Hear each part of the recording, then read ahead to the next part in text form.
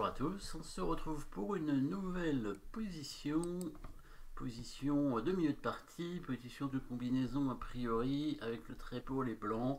Euh, noir de jouer, ce serait facile puisque le noir menace euh, un coup hein, avec euh, leur dame euh, et leur cavalier, dame machin, dame machin mat, ce serait évidemment assez embêtant. Du coup, qu'est-ce qu'on peut faire avec les blancs? Alors on peut pas bouger le roi hein, pour parer le mat.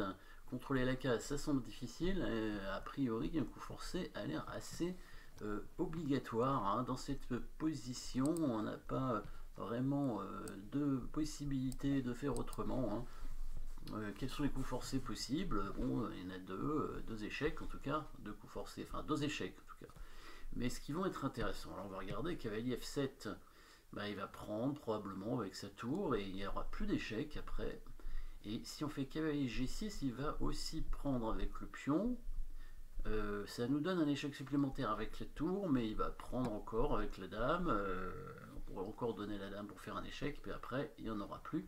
Donc c'est un dilemme, on ne sait pas trop ce qu'il faut faire. Il va falloir pourtant euh, essayer bah, d'empêcher au moins le mat, hein, si on ne peut pas faire échec. Donc est-ce que vous avez vu le coup qui permet quand même de retarder en tout cas le mat et qui permettra par la suite de créer euh, des menaces grâce à des coups forcés.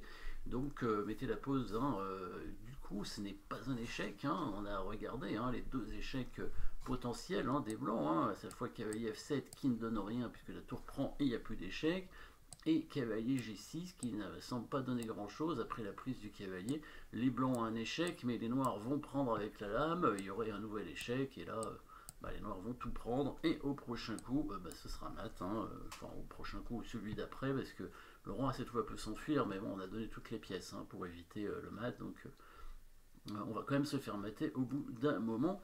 Et du coup trouver le bon coup qui permet d'empêcher le mat donc de contrôler la case ici en H1 hein, et en même temps qui permet aussi de créer des nouvelles menaces, des nouveaux échecs, euh, au passage, hein, ce coup va nous permettre de menacer mat, donc c'est bien un coup forcé.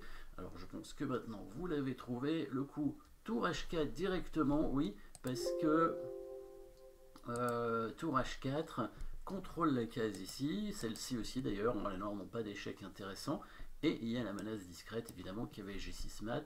Je pense que le coup des noirs est plus ou moins obligatoire, hein. c'est la prise de la tour avec la dame. Et maintenant, il faut retrouver la suite, évidemment, avec les blancs. Donc, on a bien entendu euh, des coups forcés avec le cavalier, qui peut faire échec d'un côté ou de l'autre, mais il semble pas que ça donne grand chose. Hein. On a déjà vu tout à l'heure, hein, cavalier F7, tour pont F7, il n'y a plus d'échec, avec G6, pion grand G6, c'est une position qu'on a vue avec interversion de coup. Donc, quel est le nouveau coup forcé? Ici, évidemment, euh, je pense que vous l'avez vu, pas besoin de mettre la pause pour trouver le bon coup. Ce qu'il faut, c'est trouver la bonne suite. Donc Dame G8, hein, c'est le troisième échec.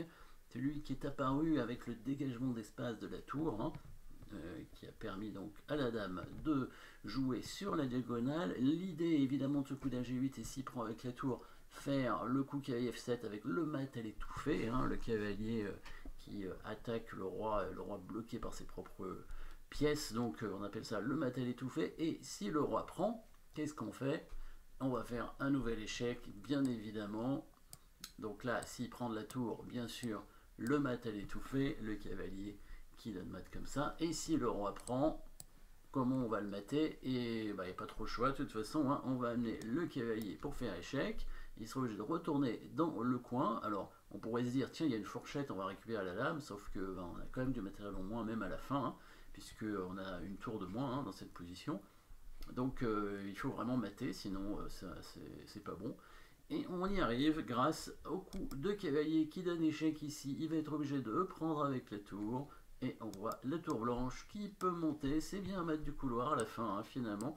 On va donner euh, beaucoup de pièces, hein, presque tout, hein, puisqu'on a commencé par donner la tour. Ensuite on donne la dame, ensuite on donne ici le cavalier. Et finalement, ben, on mate. donc le but c'est bien de de prendre le roi. Hein, euh, on n'a pas besoin de toutes ces pièces hein, pour à la fin. Le, à partir du moment où on arrive à mater, à prendre le roi adverse, beau, on a beau avoir euh, une dame, une tour et un cavalier de retard, et eh ben si c'est mat, on a gagné évidemment. Voilà, tour F8 et tour point F8 mat, donc joli dégagement d'espace avec cette tour, avec une jolie menace, hein, dame G8, euh, ah bon, qui est parable, mais euh, évidemment il va perdre sa dame. Hein, je ne sais même pas si c'est parable en fait, hein, parce qu'il y a la menace qui avait G6 aussi. Il y a aussi la menace qui avait G6, donc là, difficile peut-être repousser un pion pour euh, essayer de, libérer, euh, une case, mais bon, ça fait que retarder le mat, évidemment, on va prendre la dame et on va gagner facilement. Voilà, merci d'avoir suivi cette euh, petite position et à très bientôt.